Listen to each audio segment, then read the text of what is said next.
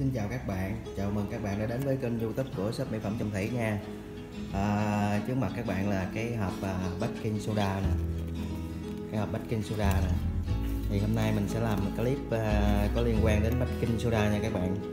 Thì uh, như các bạn đã biết thì uh, baking soda nó có rất là nhiều công dụng nha. Công dụng làm đẹp nè, dưỡng da nè, đắp mặt dưỡng da, công dụng uh, làm trắng răng rồi công dụng để làm bánh rồi nói chung là các bạn lên mạng uh, ăn search trên cái uh, Google thì các bạn sẽ thấy cái baking soda này uh, có rất là nhiều công dụng uh, để mà mình uh, sử dụng nó nha các bạn.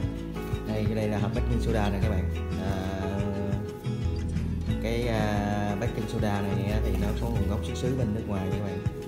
Thì uh, sau đây mình sẽ làm một cái uh, clip mà mình sẽ sử dụng baking soda để mà à, làm trắng răng nha bạn. À, cái công dụng à, làm trắng răng nữa là một trong những công dụng mà được rất nhiều người à, à, à, sử dụng à, à, với cái phương pháp mà làm trắng răng bằng baking soda nha các bạn. Thì sau đây mình sẽ à, trước tiên mình sẽ khui hộp. À, cho các bạn xem nha. Bây giờ mình sẽ khui cái hộp baking soda này ra. Đây trên đây.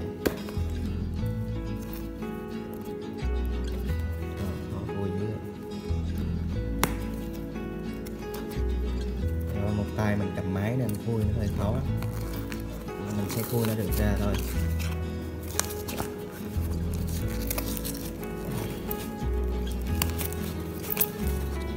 Sẽ mặt chảnh luôn.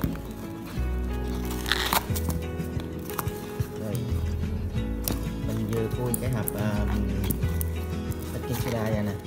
Thì bên trong nó như thế này nè. Đây này sản phẩm nó à, như thế này nè.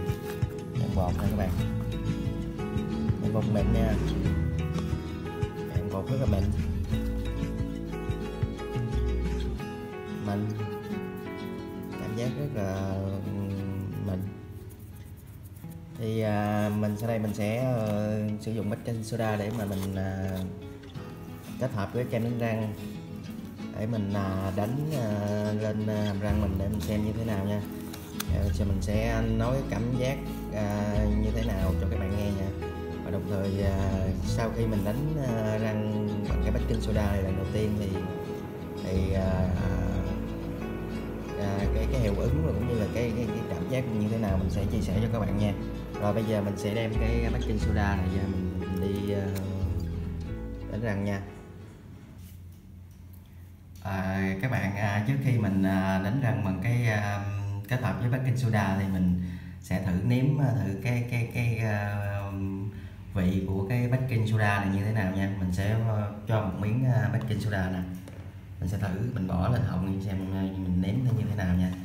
Bây giờ nè, các bạn nhìn nè, mình sẽ nếm baking soda nè.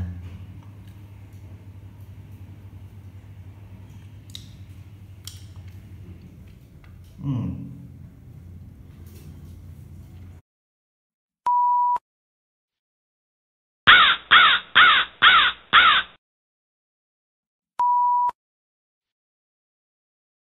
Cái baking soda này nó cái gì nó mặn các bạn rất là mặn. Mà cái hậu khi mình mình nuốt nó nó nó, nó, nó, nó cảm giác nó khai khai sao rất là khó chịu. Và bây giờ mình sẽ kết hợp mình ờ, mình uh, sử dụng cái kem đánh răng mình quết với lại cái baking soda mình đánh uh, cho các bạn xem nha. À, các bạn ơi mình vừa lấy một cái lượng kem đánh răng nhỏ nè. Một cái lượng kem đánh răng nhỏ à, kem đánh răng ngọc châu nha. Đây là kem đánh răng ngọc châu. Bây giờ mình à, trước tiên mình sẽ quét một miếng baking soda với kem đánh răng theo cái cách mà à, như mà thông thường à, để mà làm trắng răng thì mình sẽ quét một cái miếng baking soda vô nha các bạn. Sẽ quét luôn mình sẽ nhúng vô đây mình quét rồi. Và mình sẽ đánh mình sẽ nói cảm giác như thế nào cho các bạn xem nha bây giờ mình sẽ đây các bạn thấy nè. Bây giờ mình sẽ tiến hành mình đánh với lại uh, mình sẽ đánh với baking soda nha. Ừ. các bạn nhìn xem này nha.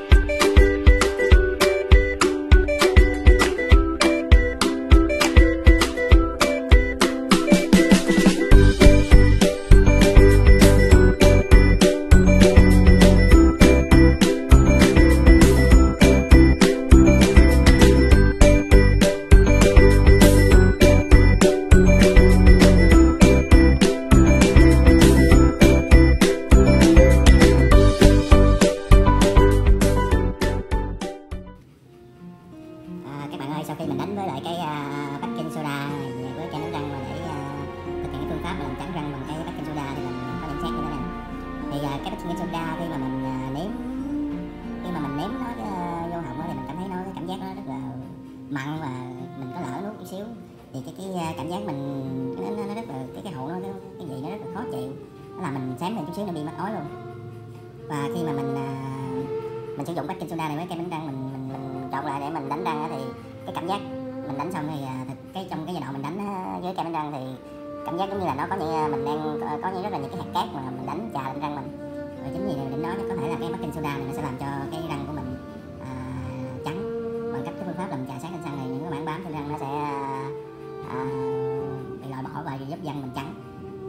cảm giác khi mình đánh nó như thế đó là có rất là nhiều cảm giác rất là nhiều cái hạt mà nó ờ, trào lên cái ờ, cái cái cái ờ, răng của mình. Nhưng mà khi mà mình bỏ cái baking soda này vô họng thì nó là tan trong họng như thế này.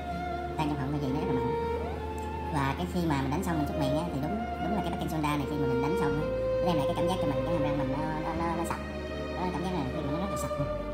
Sạch như cây cánh luôn mình và cái cái điểm mình mình à, cái đó là hai cái điểm mà mình đánh giá khi mình sử dụng cái baking soda này xong và cái điểm mình không có cảm thấy hứng thú với baking soda này đó là khi mà mình à, đánh xong mặc dù bây giờ đó, mình đang nói chuyện với các bạn là cái gì cái họng trong họng mình cảm giác hơi mặn mặn. Nó nó nó hơi mặn mặn nha. Và cái cái cái à, cái cái à, cái, cái vị mặn mặn nó làm mình rất là khó chịu. Và chính vì đó mình mình cảm thấy cái baking soda này à, nếu mà các bạn có nhu cầu mà, mà sử dụng để làm trắng thì cũng rất là tốt. Sau khi mình đánh xong mình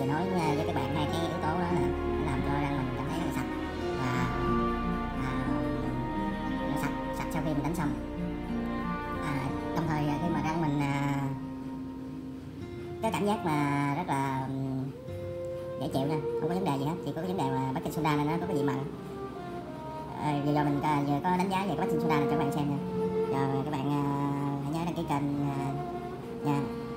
Rồi bye bye xin chào các bạn.